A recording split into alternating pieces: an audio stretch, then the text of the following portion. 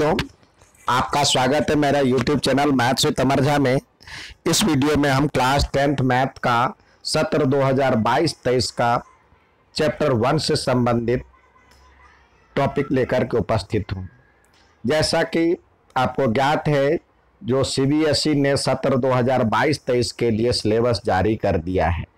Syllabus में कुछ part रखा है, कुछ डिलीट कर दिया गया है। और ये कुल छः नंबर के प्रश्न इसमें से आते हैं। तो हमारी क्या स्ट्रेटजी हो कि ये छः के छः नंबर हमारे पूरे आ जाए? तो उसके लिए ज़रूरी है जो हम पता करें जो कि सी बी ने क्या डिलीट किया है और हम, हमें क्या पढ़ना है। तो हम उसी पे फोकस करेंगे जो आना है। तो इस वीडियो में हम यही बात बताने जा रहे हैं जो चैप्टर नंबर वन में कितनी तैयारी करें जो आप छः के छः नंबर प्राप्त कर सकें। सबसे पहले देखते हैं जो कि डिलीट क्या क्या किया गया है। यूक्लिड डिवीज़न लेमा और decimal representation of rational numbers in terms of terminating and non terminating recurring decimal यानी यूक्लिड विभाजन प्रमेय का और दशमलव का निरूपण।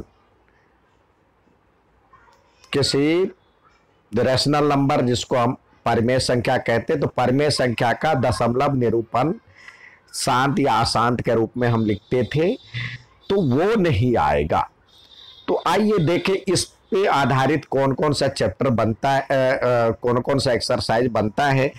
हम हमें जैसे कि पता है जो कि चैप्टर वन में आपको एन e में कुल चार एक्सरसाइज है 1.1, 1.2, 1.3, 1.4 बारी बारी से हम उस चैप्टर को अवलोकन करते हैं देखते हैं क्या आएगा क्या नहीं आएगा। यहाँ पे चैप्टर 1.1 है जिसमें आपको दिया है यूक्लिड डिवीज़न एल्गोरिथम का यूज़ करते हुए आपको एचसीएफ और एलसीएम ज्ञात करना एच ज्ञात करना है। तो ये यूक्लिड डिवीज़न लेम्मा एल्गोरिथम या यूक्लिड विभाजन प्रमेय का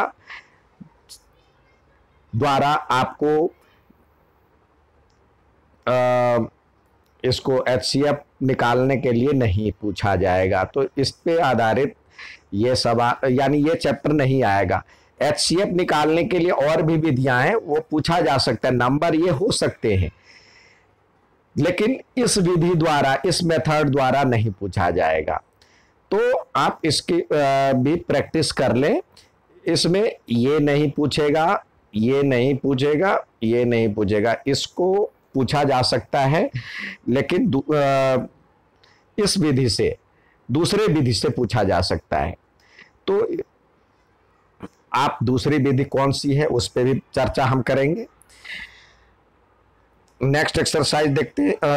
अब अगला आता है फंडामेंटल थ्योरम ऑफ़ अरिथमेटिक ये पूछा जाएगा, इस विधि से पूछा जाएगा फंडामेंटल थ्योरम ऑफ़ अरिथमेटिक आएगा।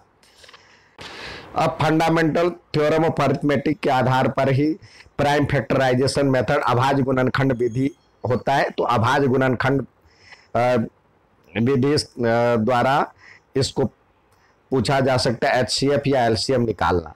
तो ये पूछा जाएगा। 1.1 नहीं आएगा 1.2 आएगा। इसके पूरे सवाल आ सकते हैं। पूरे सवाल आप पूरे सवाल की तैयारी करें। तो ये इंपॉर्टेंट है। और नेक्स्ट एक्सरसाइज देखते हैं।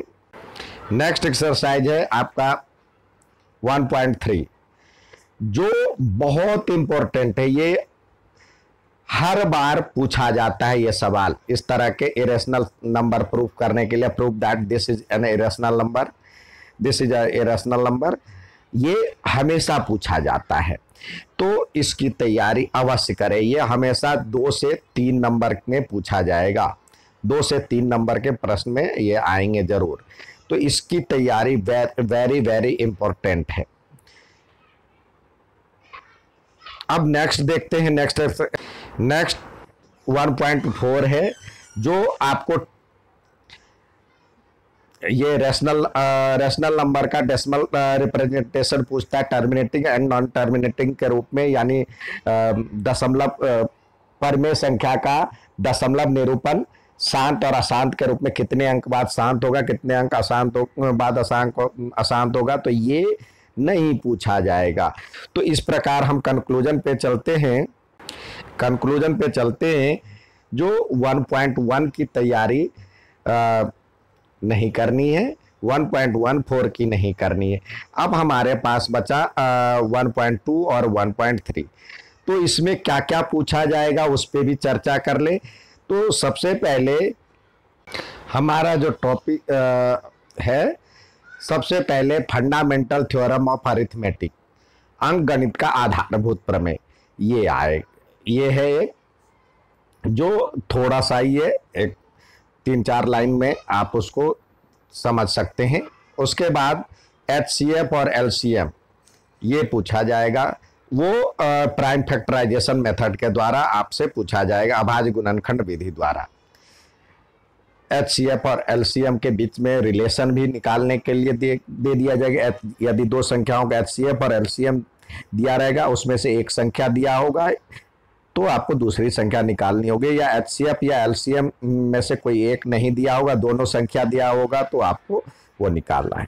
तो यानी उस पर ध्यान देना है। और तीसरा जो सबसे महत्वपूर्ण है, जो कि ये पूछा जाता है, अपरिमेय संख्या प्रूफ दैट इरेशनल नंबर या अपरिमेय संख्या सिद्ध करना। ये बहुत इंपॉर्टेंट है तो इस पर हमारा ध्यान होना चाहिए। नेक्स्ट वीडियो में हम और भी टॉपिक इसका क्लियर करते जाएँगे। अच्छा लगा तो लाइक और सब्सक्राइब ज़रूर करें।